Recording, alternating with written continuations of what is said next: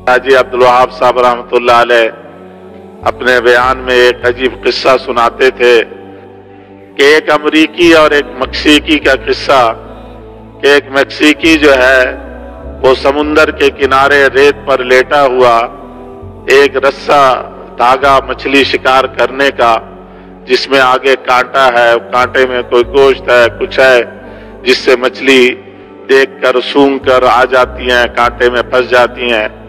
वो समुंदर में डाले, समुंदर के किनारे रेत पे लेटा हुआ, उस रस्सी के, उस धागे के किनारे को अपने अंगूठे में लपेट कर आराम से लेटा हुआ था। एक अमरीकी का गुजर हुआ, उसने उससे पूछा कि तुम क्या कर रहे हो?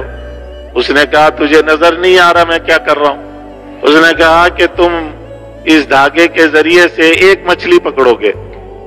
अगर तुम उसकी बजाय वो लकड़ी ले लो जिसके आगे धागा बंधा होता है तो तीन चार लकड़ियाँ तुम लगा दो और आराम से बैठे रहो।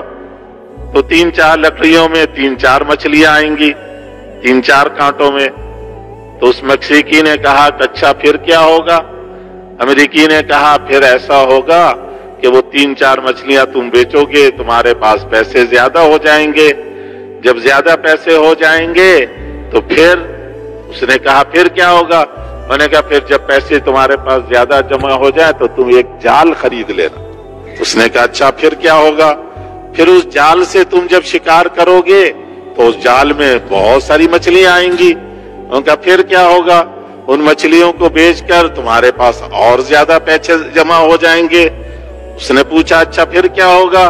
तो फिर तुम्हारे पास इतने पैसे जमा हो जाए, तुम एक छोटी सी कश्ती ले लेना। अच्छा कश्ती ले लूँगा तो फिर क्या करूँगा? कश्ती लेकर तुम जरा और आगे समुन्दर में गहरे पानी में चले जाना। वहाँ मछलियाँ ज़्यादा मिलेंगी, ज़्यादा जाल में मछलियाँ आएँगी। तो फिर क्या होगा? अमरीकी ने कहा, फिर तुम्हारे पास पैसे और ज़्यादा जमा हो जाएँगे तो तुम एक वो मशीनी कश्ती लॉन्च खरीद लेना और और गहरे पानी में जाना। और गहरे पानी में जाओगे तो वहाँ और ज़्यादा तुम्हारे पास शिकार आएँगे, ज़्यादा मछलियाँ होंगी तो फिर तुम अपने लिए एक दो मुलाजिम भी रख लेना।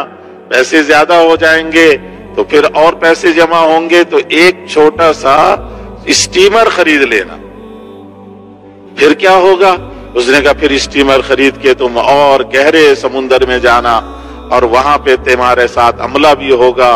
वो सारे मिलकर मछली पकड़ेंगे। फिर तुम उन मछलियों को दूसरे मुल्कों में भी भेजना, और तुम्हारे पास पैसे ज़्यादा हो जाएँगे। और पैसे होंगे तो इतने पैसे जमा हो जाएँ कि एक बहरी जहाज़ ले लेना। समुन्दरों में दूर दूर तक मछलियाँ पकड़ते रहना, मछलियों का शिकार करना, और मछलियाँ शिकार करके मछलियों को मुल्क में, बाहर मुल्क में एक्सपोर्ट करोगे, भेजोगे तो फिर क्या होगा?